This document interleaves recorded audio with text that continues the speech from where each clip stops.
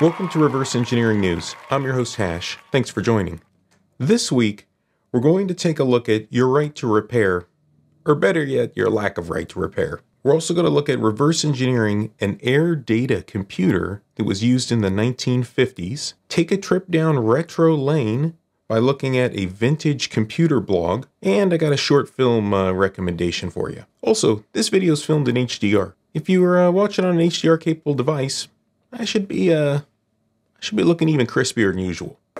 Now, if you don't know, RECESSIM has a Patreon channel. Over there, you can check out longer versions of this content with more technical details and other tidbits I include in there. It's ad free, and there's also detailed steps to reproduce things that I do in the other videos here. Check it out. Now, let's chat about reverse engineering to repair. So, a German company called Notebook Nerds made a tool to repair Apple MacBook computers. So apparently on these Macs, there's a sensor that detects when the screen is closed. And that sensor fails sometimes due to water damage or whatever. And until recently, it was impossible for any repair groups to actually replace this part because you had to have some special access to program it. This little sensor that's like a Hall effect sensor apparently is more than that. And it's not just on off, it has to actually be calibrated, and only Apple could do that, of course. Well, they made a device called a Nerd Tool 1 that you plug this little sensor into and you press a couple buttons and it calibrates it and then it loads those settings into it and then it works. They had to reverse engineer how to talk to this sensor. It's not published as of yet. They might publish it in the future. Um, but they sell this device so repair shops can repair Apple computers. Now, this is like a software induced plague, I want to say. So, this didn't exist for mechanical devices and even electronics only devices, I will say, in the past. If you look at those mechanical devices, well, they'd come with exploded diagrams or even devices would come with schematics so you could repair them. It's only once software was introduced that really this right to repair, this ability to access things, became very gated. And this is great for companies. They love gating this because it means that you're locked into buying things from them and you're locked into going to them for any help that you might need. I kind of think of it as the software is used to enslave us to these devices. And it's unfortunate that things like the DMCA and and these other things exist that means that it's really hard to touch it without fear of litigation. That same fear doesn't exist for looking at circuit boards or taking pictures and sharing them online or taking pictures of a, a, mechanical device. I could take a watch apart and show you all of how it works and post pictures online. But if there was a chip in there running some software, well, I can't actually take that software out and show it to you, even though it's basically the same as all of these mechanical components or electrical components. We're limited, and manufacturers love that limitation. I feel it's a lot like the auto repair industry and these others. I mean, farm equipment faces it. It's a pendulum that swings. It swings one way where it goes into the, the direction of the consumer, where we have the ability to fix and work on things. And that generally means that the company isn't making as much money as they could, whichever company this might be, and so they do things to swing the pendulum back in the other direction. And that pendulum swing this time is software. Software swung it back to the point where we can't do anything with this stuff now, and we're beholden to these manufacturers to ask them, please, can we work on your things? Please, can we fix them? Now, the scariest thing to me is when you see companies like Apple jump on the bandwagon of repairability and say, okay, yeah, now we're all for uh, right to repair now. That's pretty scary. Uh, in full disclosure, I got a Mac computer, I got an iPhone, I got an iPad. Like, I like Apple gear, but I know how these companies think. If they're jumping on the bandwagon of right to repair, it's because they see a way of potentially derailing or delaying any real change for a very long time. So they're going to kind of say, hey, we're all for it and everything else. And how many years will that buy them to continue with the current business practices. That's really all that is. You know, the, the reality is internally they're probably fighting it tooth and nail, and it would be honestly more like I'd, I'd believe it more if they were still just fighting it because that is the true nature of it. Once they swing this other way, I know now it's a delay type of strategy. The same way smoking companies delayed any changes or laws passed on marketing or anything else. Like they they jump on board, they make it look like they're part of the team, and really they're they're working against you the the whole way. Now let's switch gears a little bit and talk about reverse engineering an air data computer. So Ken Shirriff on the Righto blog, he does a bunch of good reverse engineering stuff. I've talked about him before. Uh, he's basically looking at this 1950s mechanical computer. So the whole thing's mechanical. Like there's no like real kind of uh, electronics computation in it.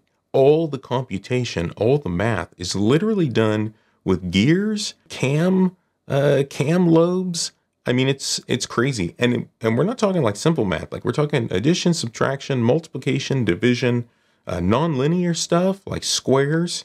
I mean, all kinds of calculations, and it's using nothing other than these gears and cams and and other things. And the reason that they had to make this computer in the 1950s was they had a jet that they had developed, and it was approaching the speed of sound. And so to calculate airspeed, when you're going that fast, you can't just do the same stuff that you would do like in a little Cessna that's flying around where you're kind of measuring the differential in, in air pressure externally and internally. They talk about it on this blog write up.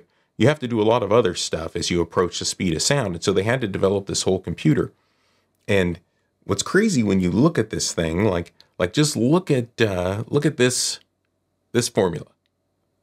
They're doing that with gears and and cam lobes, math, like crazy math, you know, real time. As this data is flowing in, it's performing this function and it's sending out the answer.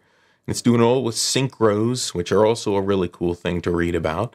Um, you know, in in the 50s. Now, look at look at this device. They didn't have CAD software. Like if I ask you to design this and okay, go Fusion 360 and use your computer to run all kinds of calculations, and you probably have a calculator, so you can use a calculator. This is the 1950s we're talking about here. Uh, I don't even know. Did they have calculators? I don't even know if uh, the portable calculator was invented when they were designing this thing. They might be doing a slide rules and and you know, I mean, old stuff, rulers and paper is how they're designing this. That's crazy in itself that they made this mechanism. And then so as Ken Shirriff's taking it apart, he's talking about on his blog, he was kind of worried because there's a portion that's these just tons of gears and everything else, and then there's a whole back portion to it with some other things, the synchros, these other stuff that are going to carry the data out. He's like, okay, how am I going to take this apart? Well, surprise, surprise, they designed it for repairability. So you can actually separate the gear portions of this thing from the synchro portions to work on it. I mean, even opening it up, like it's sealed, but you watch them, they use a blowtorch to actually melt the solder, essentially like they kind of leaded it closed or whatever, to peel this thing off and then take the case off of it.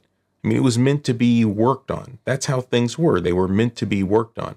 It's a no brainer with a mechanical device that you're going to work on. And nobody thought, oh, I'll design a mechanical thing and then I'll seal it for all eternity and make it so no one can touch it. That's a very new concept. Everything, you know, in history has been designed this way. And so it was real interesting as I was reading down the blog to see his surprise that even it could be removed and that he could work on and take it apart. I highly suggest you take a look and, and read this blog. I mean, it's amazing to see just how he reverse engineered this thing and how they did all these math functions and everything else with literal gears and cogs and, and rotation uh, you know, and cams to perform complex functions that they would literally grind the shape of the cam, which would define what the function was. It's crazy. Now let's take a trip down retro lane. There's a blog. It's called Leaded Solder, which is a great name for a blog, by a guy named Mike. On that blog, if you go to the About page, there's just a list of a ton of old computers. They're awesome, I mean, there's just a bunch of them. Every computer, probably when you were a kid, whatever it is you had from long ago that was your first computer, would probably be on here if it was a vintage style computer. I had a Sinclair ZX81. They didn't have that exact one, but they had a Sinclair 1000. It's about the same form factor, and scrolling through all the pictures, it reminded me of exactly trying to make that computer work in my bedroom on the floor with a little tiny black and white TV. Uh, it's awesome to see all the work that uh, he kind of goes through in restoring it. And he takes a bunch of great pictures of the insides. You really get a feeling of like you're there taking them apart too and taking a, a look at them. He has the classic TRS 80, the Trash 80. I think that one literally was a Trash 80 on his site. He might have found in the trash can or something else. And he shows running through it and all the all the images of opening it up and all the kind of how it deteriorates over time and foam that gets cleaned out and these other things. It's fun just to take a look at these very old devices with very large parts that were very approachable, you could say. It's from uh, from a time when repair was obvious and things were designed to easily be worked on and modified and repaired and the very opposite of where we are today. Now let me tell you about a short film called The Hacktivist. Now, it's about the adventures of hacking the Xbox, a run in with Microsoft, and the right to repair and modify devices. I mean, that seems to be the, the theme for this week's show. I didn't plan it that way, but as I kept digging, this just what popped up this week. Uh, it features Andrew Huang, bunnie, obviously from Hacking the Xbox, and Sean Cross, who goes by xobs. Now, it came out like a year ago, but somehow I didn't hear about this thing at all, and I never watched it. YouTube suggested it, and it didn't even mention any of that stuff, so luckily I clicked and watched it. Uh, and if you care at all about right to repair that's interesting to you, I think you're really going to like that video. Now, if you made it this far, well then, make sure you're subscribed, hit the thumbs up button, and ding the bell. You can find me on Twitter and TikTok, all the other social media sites. The links are down in the description and check out the RECESSIM reverse engineering wiki. There's been some awesome things that were added just in the last week. If you go to the software reverse engineering tools page, you'll see that Polymorphic 7 populated the heck out of that thing with like every kind of different tool that can be used for software reverse engineering. It's all organized. It looks great. If you're wondering what could I do for this or that, you got to check that page out. It looks awesome. And if you see something that's missing, let us know in the Discord channel or create an account and add it yourself. There's also some cool camera teardowns that you'll see uh, by a user named Chicken. I put links to both those pages down in the description so you can get to them easily. And now I'd like to close this week with a reading from the good book, Issue 5, Story 7, Verse 1 by Joe Fitzpatrick.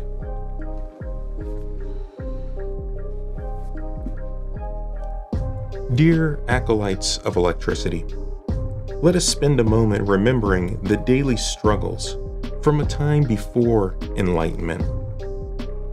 For let us not forget that there was a time that even the most modest system upgrade required a screwdriver. And let us recall the dark moments when we were alone with dip switches, not knowing what to set or where to seek divine guidance. Thanks for watching. I'll see you next week.